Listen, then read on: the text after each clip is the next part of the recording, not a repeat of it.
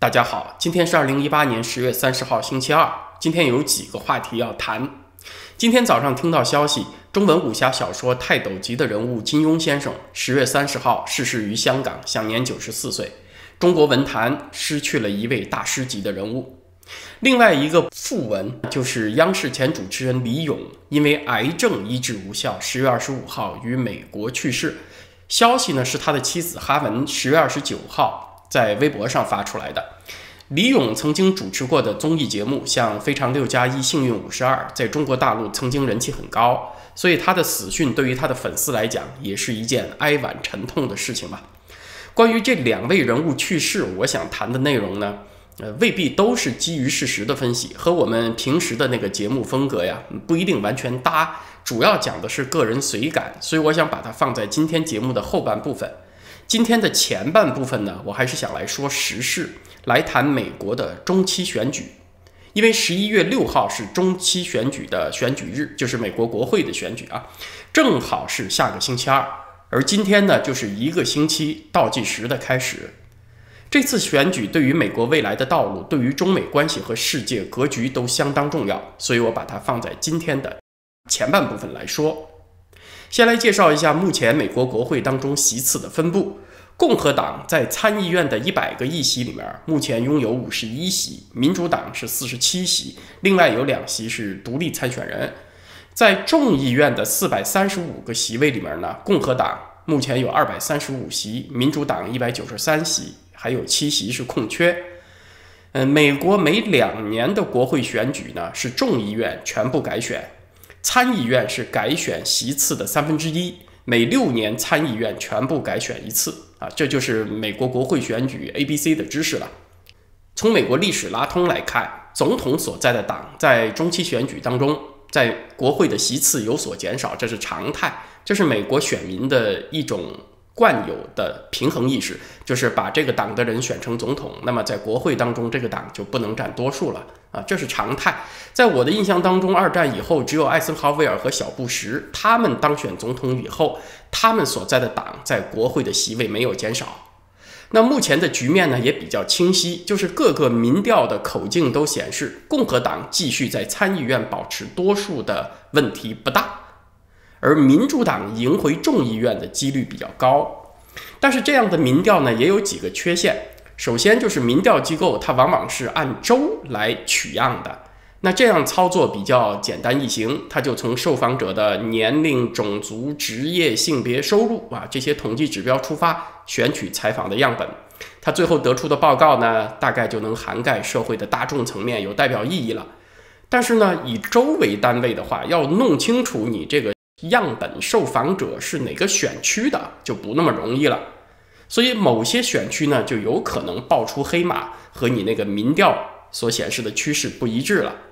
而在两党比较势均力敌的情况下，爆出几匹黑马就足以改变最后谁来控制国会这个结果了。啊，这是民调第一个有失精确的地方。第二呢，就是民调机构它所采集的样本呢，总的来说数量还是不多。多数情况下呢，就是有几千，至多也就是一两万。如果你按照四百三十五个众议员的选区来分摊的话，那就很明显，在很多选区，你那个样本的数量就不够。你所选取的样本，它能不能反映这个选区内多数选民真实的心声啊？这就不好说了。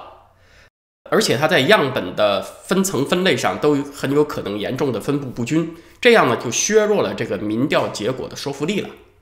这个民调的第三个不足呢，就是大家都知道啊，他两年前就失手了一回，二零一六年那次总统大选，当时多数的民调机构都是预测希拉里胜选，那么这次会不会又马失前蹄呢？这是很多人心里犯的嘀咕。虽然说目前民主党赢回众议院的几率比较大，但是呢，比起一个月以前，他那个赢面儿啊，就是赢的概率还是有所下降。因为在这一个月当中，有两件事情造成了民意的波动。第一，是为了阻挠大法官卡瓦诺的任命，民主党的做法它确实不得人心。那位加州女教授福特指控卡瓦诺在一九八二年性侵她这件事情啊，经过 FBI 的。好几轮调查，所有证人都没有指认这件事情的成立，这是一件三十五六年前的旧案了。多数美国人呢，他还是比较 nice 啊，就是比较出于善良的推测，愿意相信福特很有可能早年是受到了这样伤害，但是他未必能在几十年之后准确的辨认当年性侵他的人是谁。就是多数美国人呢比较善良，还是不愿意把他作为一个说谎者来对待。但是民主党揪住这件事情不放啊，给大家的印象还是比较失分的。其实咱们看，哪怕是圣人。比如基督教当中重要的神学家圣奥古斯丁，他年轻的时候也是放浪形骸啊。奥古斯丁三十岁以前就和一个情人未婚同居长达十年啊，这在那个时代就是相当伤风败俗的事情了。他三十三岁才接受洗礼，但那那也不妨碍他后来成为基督教的圣人呢。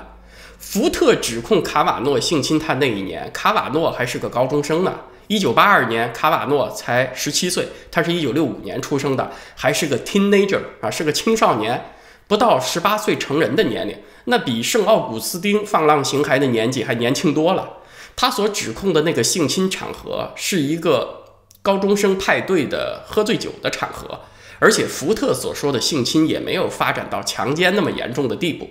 退一万步说，就算卡瓦诺年轻的时候做过糊涂事儿啊，有不正当的行为。你要因此去否定他三十五年以后出任大法官的资格，你等于是对卡瓦诺比对圣人、比对圣奥古斯丁的要求还要严格啊！这个事情呢，确实也是过分了一点。另外一件事情呢，就是中美洲的移民大军正在向美国接近啊，这让共和党主张的那个强硬的防堵非法移民的政策更得人心。所以这些刚刚发生的事情呢，都是有利于共和党的方面。因此，虽然民调显示民主党有可能赢回众议院的控制权，但是在剩下的这一个星期，是不是有些选民会改变心意去投共和党，也未可知啊。我们以美国左翼的大本营加州为例，加州五十三个众议员里面，目前有十四个是共和党的。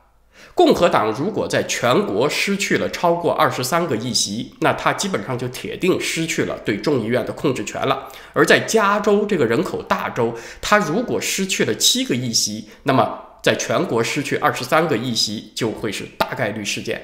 这个话是共和党的一位评论员说的啊。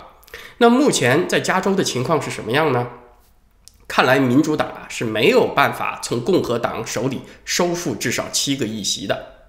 也就是说，民主党虽然在众议院的竞争当中有优势，但是呢，这个优势正在减弱。在他的大本营加州反映出来都是这个状况。民主党最后能否如预期夺回对众议院的控制权，这事儿呢还有点活泛。而且他所预期的那个 Big Blue Wave，就是社会上啊群情汹涌的支持民主党的蓝色浪潮啊，现在看起来呢还没有发生。那我们按照目前一个大概率的情形来推算，民主党真的收复了对众议院的控制，而共和党继续掌握参议院，会对美国未来产生什么样的影响呢？首先，民主党是很有可能发起弹劾川普总统的程序，他对川普是恨得牙根痒痒，他要掌握了众议院是很有可能这么干的。按照美国的宪法，总统犯有叛国罪、重罪轻罪都可以成为被弹劾的理由。弹劾呢是中文里传统的说法。其实就是行政官员被起诉，嗯，如果罪名成立呢，他会被罢免；如果他所犯的事儿涉及到刑事犯罪，还会由普通法院来审理。在这个过程当中，众议院它其实是扮演行政法院里公诉人的角色，而参议院呢，则是扮演行政法院里面陪审团的角色，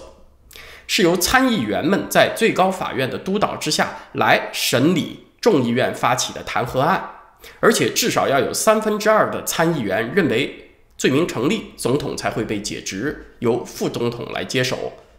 因为共和党继续掌控参议院是个大概率事件了，所以民主党就算他能控制众议院发起弹劾，想在参议院里面得到三分之二的赞成票也是非常困难的啊！这是美国的这种两院制所制造的一个局面。除非啊，民主党能证明川普有不可掩盖的罪行，而且是非常显著重大。也就是说，民主党掌握众议院，共和党掌握参议院的这种情况下，想把川普搞下去，那可能性微乎其微，近乎不可能发生。但是呢，是有可能三天两头把川普弄到参议院去过堂，干扰他正常施政，这种情形是有可能发生的。但是在这个中期选举的过程中，民主党他不怎么提弹劾的事儿，可能是这样会显得他们的报复动机过于明显，给中间派的选民造成不好的印象吧。上面讲的是美国中期选举的不同结果给美国内政带来的影响，那么它对美国国际政策的影响呢？现在看起来中美贸易战呢是没有受到中期选举的影响，中共这个宝啊没有压对，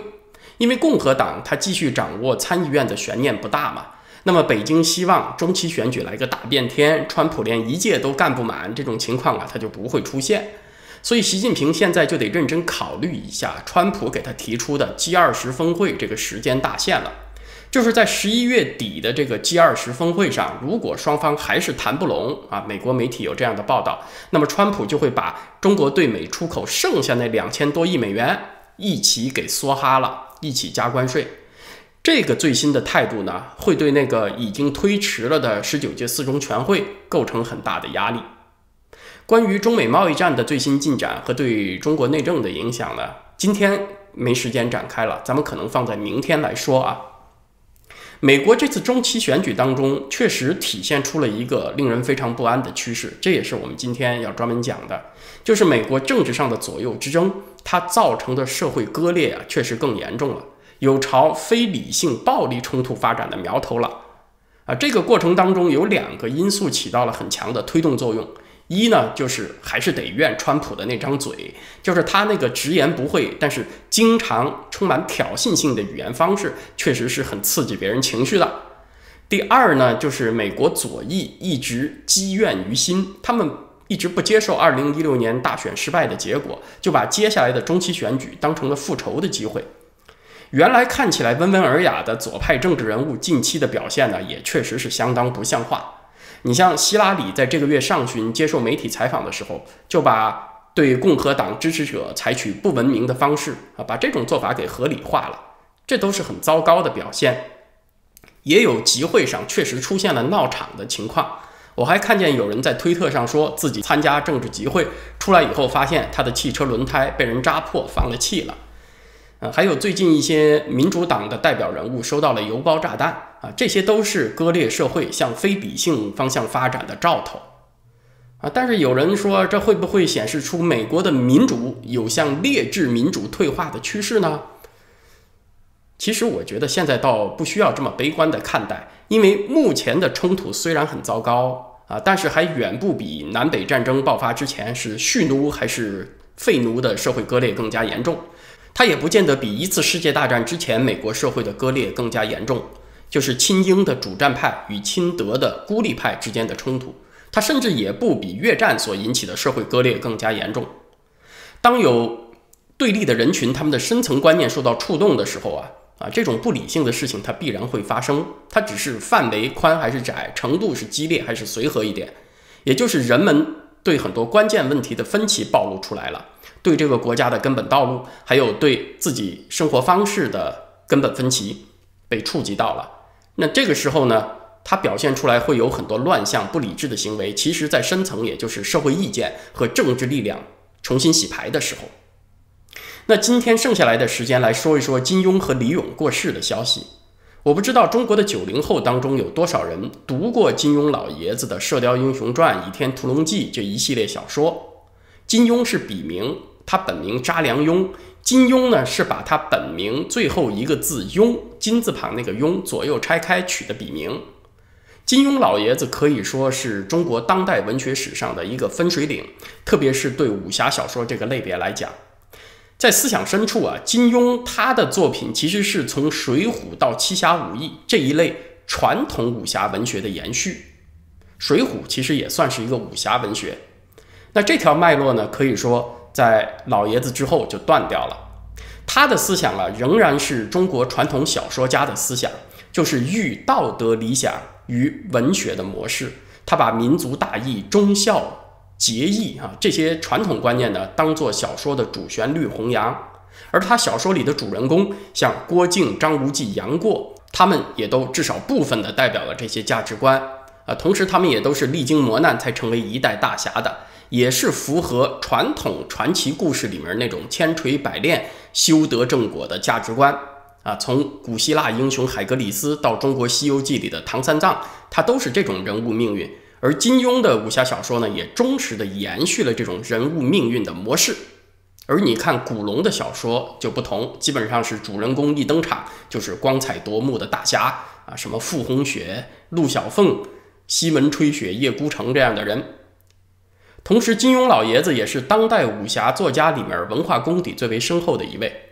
他所出生的那个海宁扎家呀，是当地的名门望族，才俊辈出，有过一门七进士、叔侄武翰林的盛况。金庸的父亲扎叔清在中共取得政权以后，在镇压反革命运动当中被处决了，就是所谓的镇反运动。他的家产也被剥夺，继母反复受到批斗。那金庸在香港办《明报》期间呢，他对大陆的种种非人乱象有过广泛的报道、深入的揭露。文革以后，他才有机会回到大陆，还被邓小平接见过，因为他毕竟是个文学泰斗，是个名人嘛。金庸在中国的武侠小说史上可以说是一个不可替代的人物，他是一个从传统到现代过渡式的人物，和他同时代的其他武侠作家。不可能有他那样的家学渊源和文史功底，而这个武侠小说的背景呢，它往往又是放在中国古代的啊。你说放在现代呢，感觉总是那么不太搭调。所以其他人的武侠作品呢，就很难达到像金庸那样的深度和历史厚度了。那接下来再说一说李咏，他是二零一三年离开央视，成了中国传媒大学二零一五级的博士生。这才过了几年，就突然传出死讯，确实呢是很令人意外。我看到中国大陆已经有媒体总结，十年以来啊，前后有五位央视主持人死于癌症，包括新闻联播的主播罗京、中国音乐电视的主持人王欢、焦点访谈的主持人方静、今日说法的主持人肖小林，李咏算是第五个。似乎央视主持人是癌症高发的人群呢。那大陆已经有媒体在提醒主持人们要注意养生，要避免不健康的生活习惯等等。但是我曾经看到过美国心理协会有一项调查，它是在心理学家 Anita Kelly 的领导下完成的。这个调查结果显示，说说谎啊是直接有害于健康的啊，说谎的人直接承受很大的精神压力。这还指一般生活场景下的说谎啊。那媒体在中国那边作为喉舌宣传机器，他们的电视主播其实说谎是他们的本职工作，所说的话呢又会经常和自己的本心相违背，在执行任务的过程中，直接就会产生很强的身心不适感，这就跟你在有毒的空气环境下工作，在噪音环境下工作是一样的。同时呢，这些主播们他们所谓战斗在宣传工作的第一线。他直接承受很多压力啊，很多负面的意见会直接反馈到他那里去的。比如某个人想驳斥央视的谎言，或者海外媒体要驳斥他，都要把某位主播的画面拿出来播放一遍啊，然后找评论员评论一番，痛批一番，结果把这位主播的形象散布到满世界都是，都是把他那个形象和谎言挂在一起，他给这位主播带来的精神压力是可想而知的。啊，因为人都是血肉之躯嘛，当这种负面压力汇集的时候，会对他的健康构成很大伤害的。当然，李咏呢，他是一九九八年开始做综艺节目主持人的，他所工作的那个领域似乎和罗京和焦点访谈主持人方静，就是这些人的新闻政论领域呢有所不同。但是李咏是早在一九九一年就进入央视了，他早年也是做记者、编辑和专题片的编导。凡是从央视这个体系历练出来的人嘛，他其实都是宣传机器上的螺丝钉啊，大家都免不了要充当肉喇叭传声筒这种角色。除了刚才讲的那个所谓战斗在宣传工作第一线，直接和谎言挂钩这个压力源之外呀，还有宣传体系里面复杂的人际关系、勾心斗角的倾轧等等，都对这个体系当中的人造成身心的巨大伤害。那这又岂是像？大陆媒体所说的避免熬夜这些生活习惯，你就能健康的起来呢？大家虽然听我经常批判中共了，但其实我对体制内的人大多数没有敌意，因为我知道他们当中很多人是处于严重的压抑和苦闷状态之中。那些多少靠自己努力打拼上来的人呢？他作为精英圈子的一员，你要让他自我麻醉到让本性的灵光完全泯灭。其实也是件不容易的事儿。因为那个灵光啊，是他才华的源泉，是他成功的由来。你要让他完全泯灭掉思考和分辨事物的眼光，那就等于是要消灭他的才华，消灭他最引以为傲的东西。你说他能甘心吗？他肯定不甘心嘛。所以这种苦呢，我是能够理解的。总结今天的话题啊，我们是分析了美国国会中期选举目前的情况。啊，这次中期选举是美国政治基本盘深度重组的又一个重大时刻，所以会有深远影响的。然后我们谈了两位刚刚过世的人物，金庸老爷子和央视前主持人李咏。对金庸老爷子送上我的悼念和敬意。对于李咏的粉丝们，我也要说，I'm sorry for your loss 啊，对你们的损失我感到非常遗憾。对于李咏的同事们呢，我也只能送上一句：珍爱生命，远离央视。最后预告一下，今天在我会员网站的会员投稿专栏会播出 Michelle Wan 女士谈教育的第二集《教育的实践选择与决定》。就是很多家长都习惯于用各种各样的事情填满孩子的空余时间啊，不让孩子闲着发呆。但实际上，你消减了这个留白呀，恰恰是减少了孩子们自我思考和做出选择的学习机会。范女士是在美国从事投资风险控制的工作。今天她继续和大家来分享这方面的教育心得。那今天这个话题呢，我们就聊到这儿，谢谢大家，咱们明天再见。